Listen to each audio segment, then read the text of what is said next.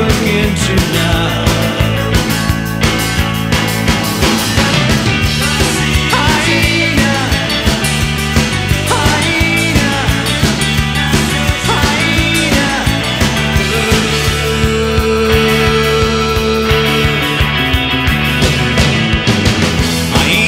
Sister, look to your hand.